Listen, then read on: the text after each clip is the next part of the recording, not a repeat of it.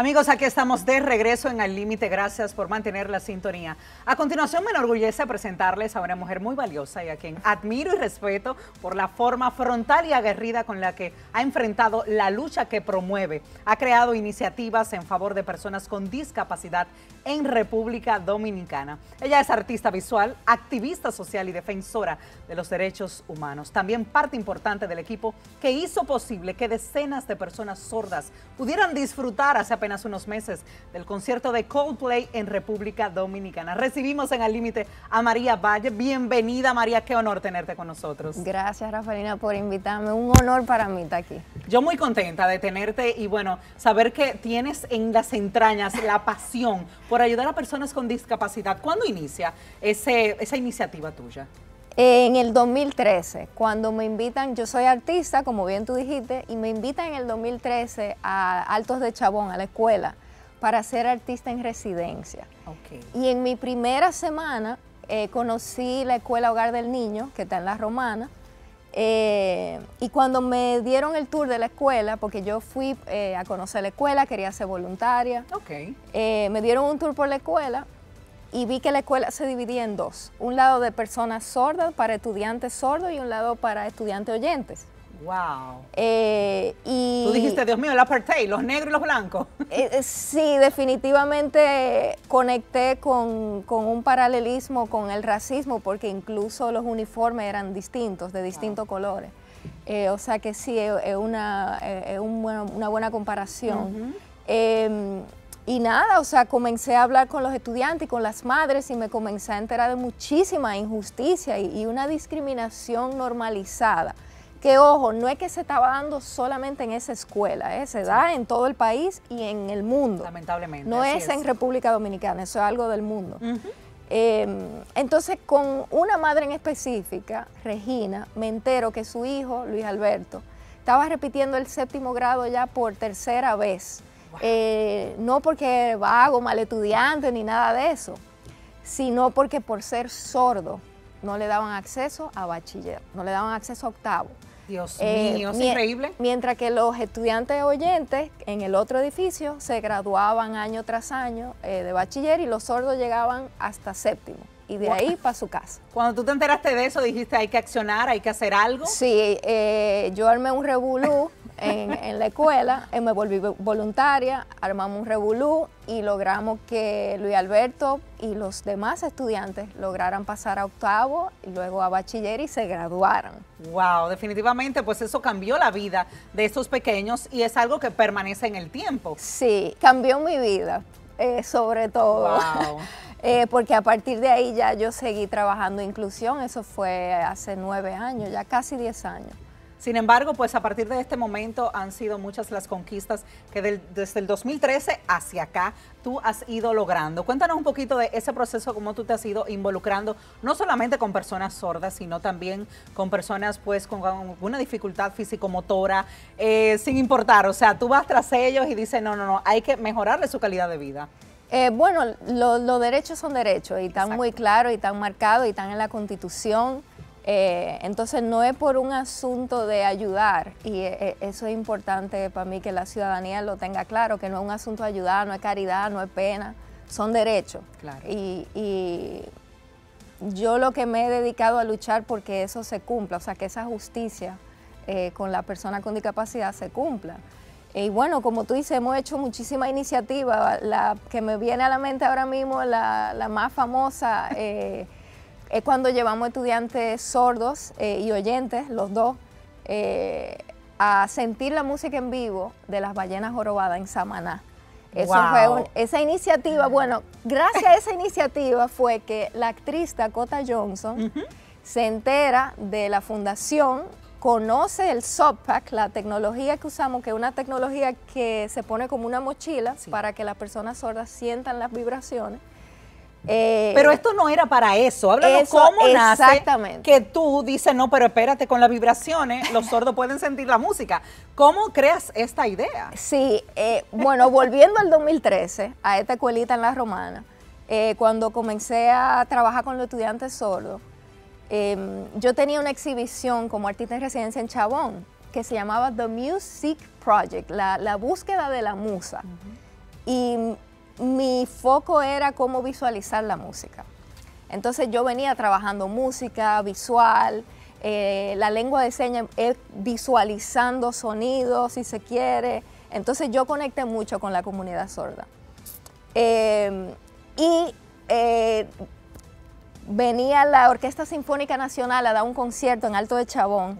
Y se me presentó la gran oportunidad de hablar con el maestro José Antonio Molina y yo le pedí le hice la historia de los estudiantes, él. es increíble y, apoyó 100%. Yo le dije, mire, eh, maestro, vamos a subir los estudiantes al escenario y en lo que los músicos estén tocando, ellos van a colocar sus manos sobre los instrumentos para sentir la música.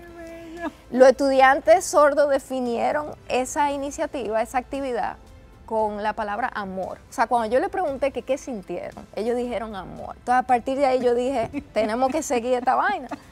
Entonces. Llevaste a los niños a lo de la ballena. Entonces, no, después vino Pitbull a dar un concierto en Alto de Chabón. Y a ese concierto en Chabón, que fue a beneficio de la escuela, eh, yo llevé a los estudiantes con globos, porque el globo absorbe las vibraciones. Entonces, todos tenían una vejiga en la mano y la vejiga vibraba y se pasaban la vejiga por el cuerpo para poder sentir la vibración de la música. Es una forma más económica de hacerlo. Exactamente. Entonces, cuando sale esta tecnología un año después, porque esto es 2013, el Softpack sale en el 2014.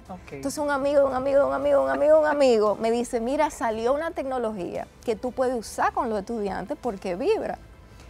Eh, y entonces eh, me contacté con los fundadores de Sopac y me mandaron los dos primeros prototipos a la romana. Dios mío. o sea, eres pionera. Entonces yo se lo presento a los estudiantes. Le digo, esto es mucho más sofisticado que la vejiga. Y lo probamos. Y eso fue una locura. Entonces, como ya teníamos esa tecnología, ahí entonces creamos lo de la ballena.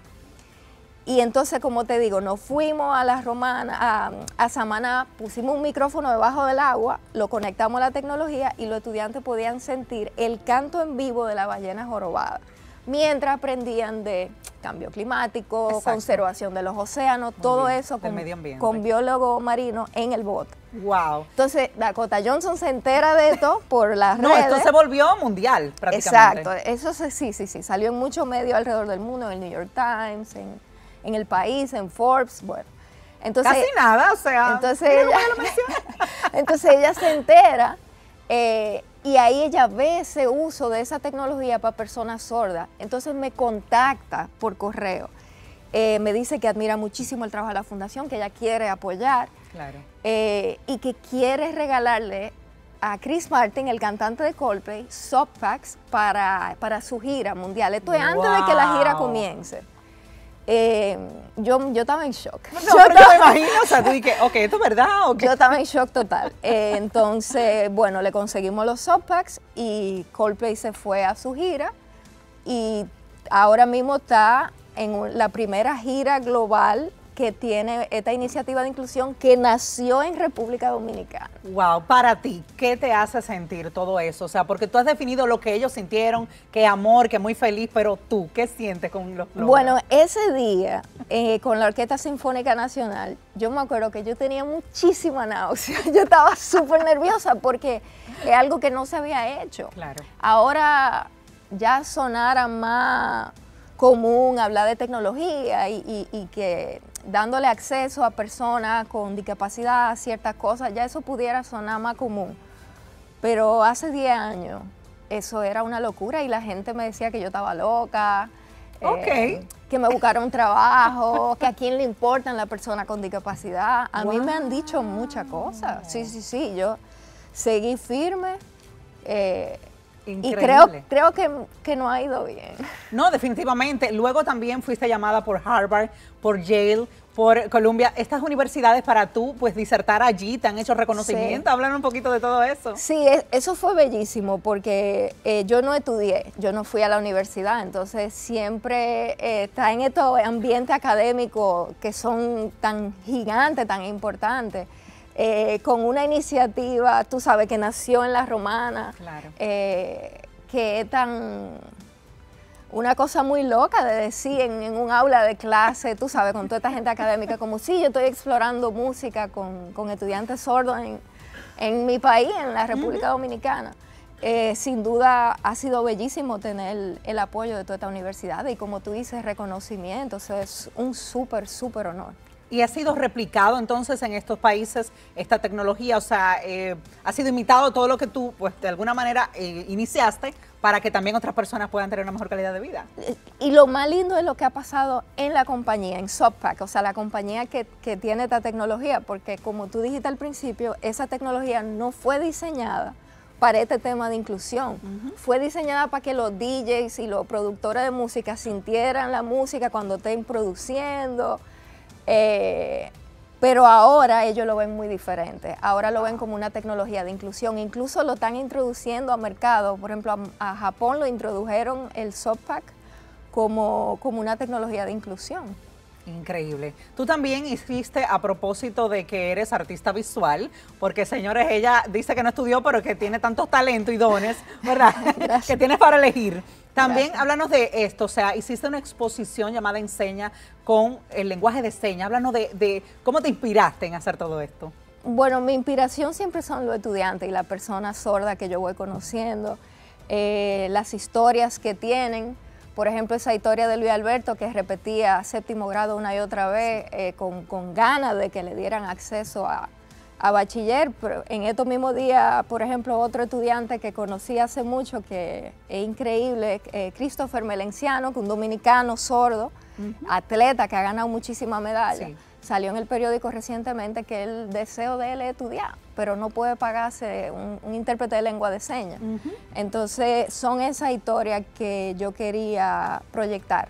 Eh, y dar a conocer. Y por eso hice una exhibición con los retratos de, cada una de esas personas. Eh, se hizo en el Centro Cultural de España y después esa exhibición pasó a Pro Dominicana. Wow.